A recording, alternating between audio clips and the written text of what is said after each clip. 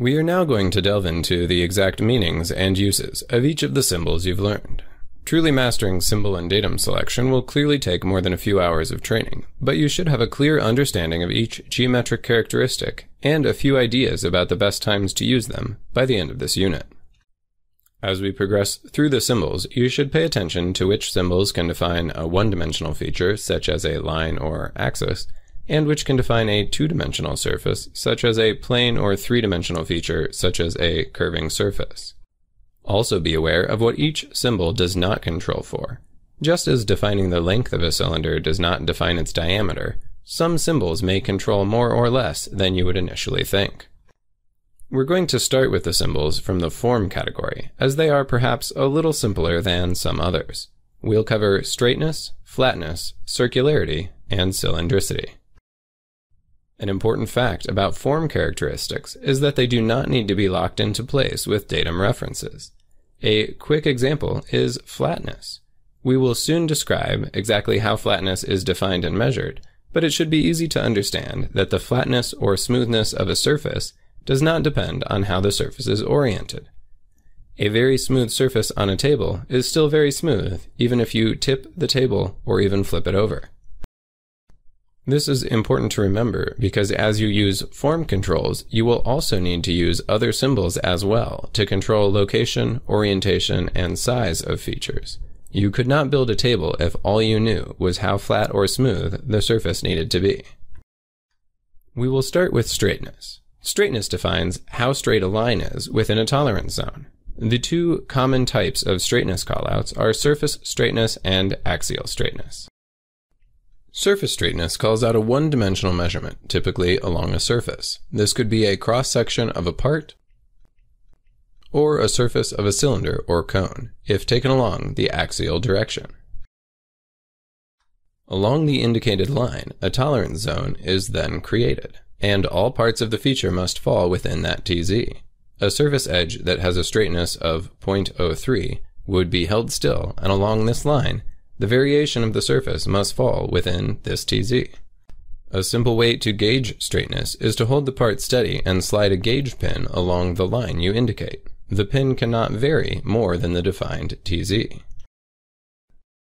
On a cone or cylinder, a surface straightness callout would require the same measuring process to be conducted around the entire surface at as many of these lines as possible or practical. Similarly, a straightness callout of an entire surface like this requires as many cross-section measurements as practical or reasonable to be carried out in the direction indicated. However, a callout along a single edge like this would only require the single line to be tested for straightness. Cylinders, cones, and single edges like this are logical applications for straightness. For each of these callouts, straightness is only defining a two-dimensional cross-section in the direction you indicate. Since parts are three-dimensional, you will only be assuring straightness in a single direction, and may be allowing for undesired effects. For instance, even if every line drawn across this part's surface in the indicated direction is straight, the perpendicular profile has not been controlled for. Rotating the part shows the lack of straightness at the opposing angle. Similarly, Controlling for straightness does not control for orientation or location. On this part, a straight line could easily be at a steep angle or too high or low for what you intended. Straightness does not control orientation and location. Another form of surface straightness is derived median line straightness, which can be used for flat part features such as tabs or slots. You'll see here, the placement of the indicator arrow seems to be across the entire slot, as opposed to only one surface. This means the straightness callout is referring to the derived median line of that slot. A derived median line is found by locating the median point of every cross-section perpendicular to the DML we are creating, and connecting these points to make a derived line. This derived line is then checked for straightness within the specified tolerance zone. This process would then need to be repeated along as many of these control line elements as reasonable or practical down the length of the slot, each one creating a tolerance zone around the DML of that cross-section, and each tolerance zone being parallel to the view of the drawing in which the straightness callout was made. Because these DML straightness checks are independent of each other, this does not control in the opposing direction, and an uneven but symmetrical slot like this would still have a DML within tolerance. The DML straightness is also complicated to gauge, as two lines must be gauged, and each DML derived from the gathered data. For these reasons, this is an uncommon callout. The third type of straightness is axial straightness, which, unsurprisingly, is used to measure how straight an axis is. For a cylindrical pin or hole, the axial straightness callout would control the derived axis in the center. An axial straightness creates a cylindrical tolerance zone in which the axis must fit. Axial straightness is sometimes used as a modifier for a feature. For instance, and without getting into too much detail, here is a rectangular part with a single projecting pin.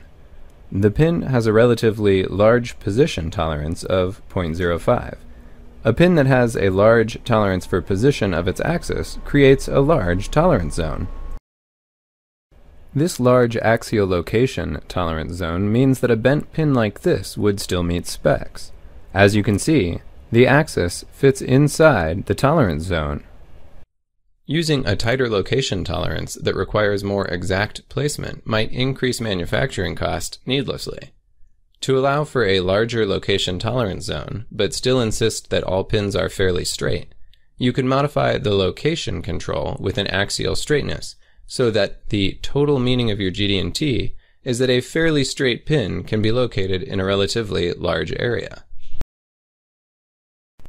From our side view, we will show the smaller axial straightness tolerance zone. This smaller TZ allows the pin only to be slightly bent, like this.